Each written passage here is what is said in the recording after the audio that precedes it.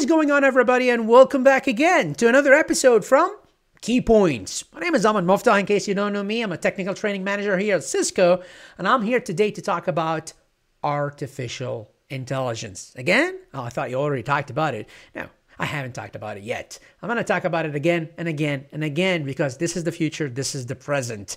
And uh, let me answer five very important questions about artificial intelligence that everyone is asking about. These questions are Is artificial intelligence really beneficial to my career, or is it just another buzzword?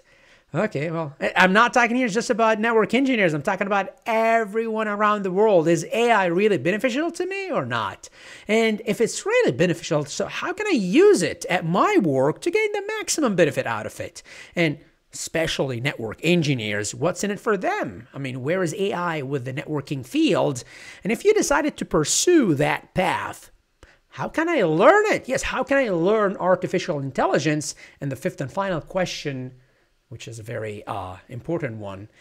Will AI replace humans? Oh, let's find out. But before I answer any of those questions, let me start by defining AI.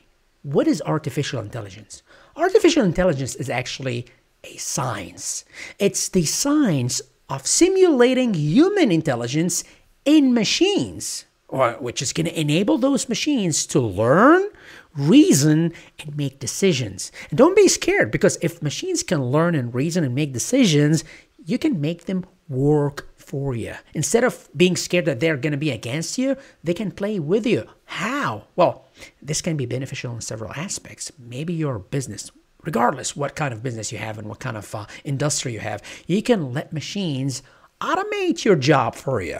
Instead of having to repeat yourself over and over again, when you let machines learn and analyze what's going on with your, you know, with your business, it can give you predictive analysis. It can automate your job. It can do some kind of self-learning so that you can upscale your industry.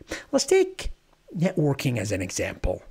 Network engineers. Where do we find artificial intelligence? I'm going to give you a very good example.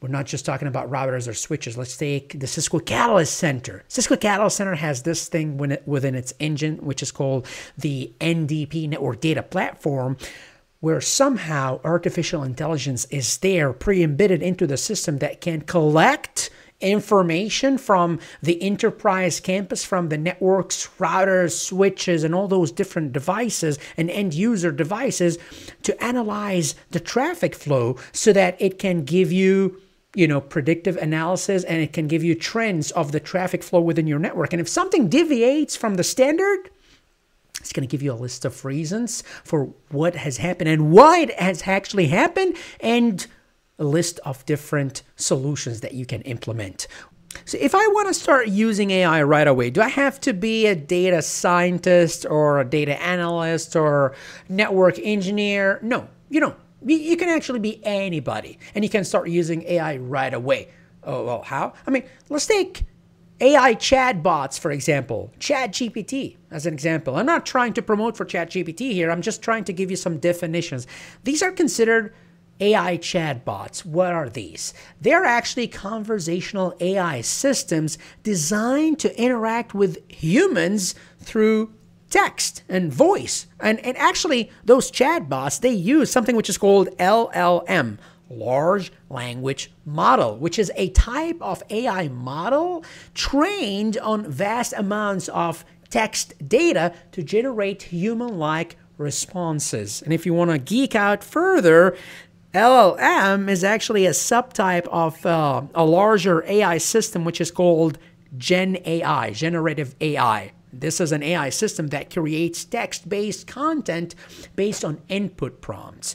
Okay, well, I'm not really concerned about all those technical details. Tell me how to, to, to start interacting with those different uh, AI applications. Just go to ChatGPT and start typing and start asking questions or start asking, you know, uh, use, use your voice and, and just ask ChatGPT about, oh, how can I, um, hmm, troubleshoot OSPF if uh, a couple of routers are not, uh, you know, establishing uh, OSPF neighborship. For network engineers, they're going to understand what I mean. But hey, it's not just about network engineers, as I said, you can just ask those chatbots anything and you can get some answers.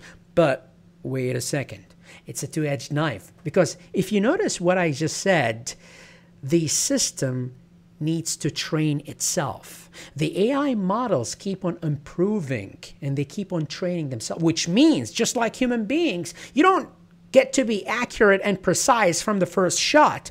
Although you could, it will give you some definite answers for sure, but you don't take those answers for granted. You have to verify the answers and further check those answers so that you don't make mistakes at your job. So this is going to give you better edge at your job because you're automating your tasks. You are being faster, better, and smarter, which is again going to give you better opportunities. And this is going to benefit you instead of being afraid of artificial intelligence. Go ahead and start pursuing it.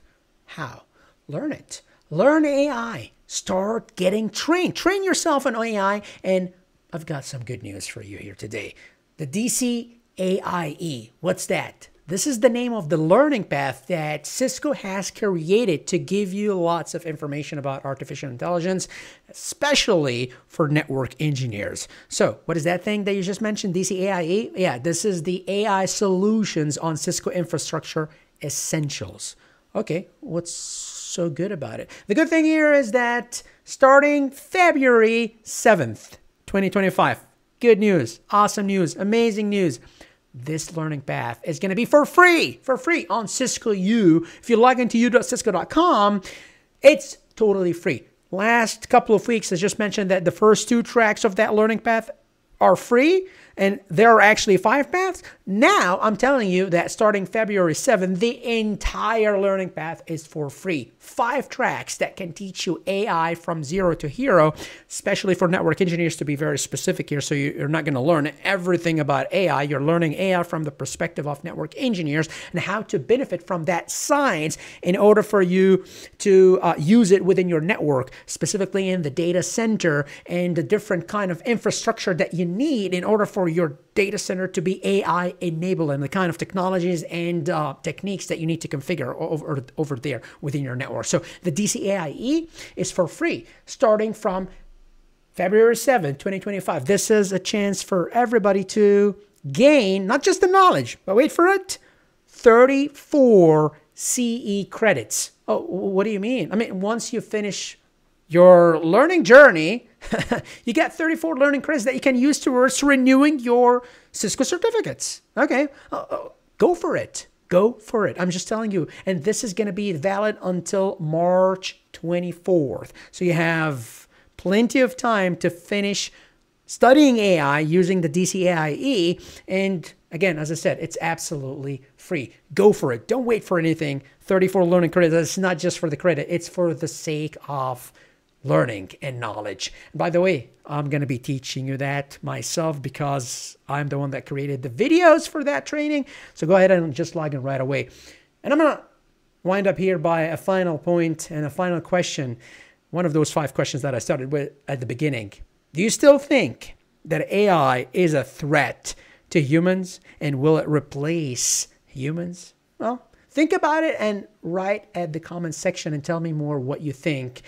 Until then, keep watching, keep learning.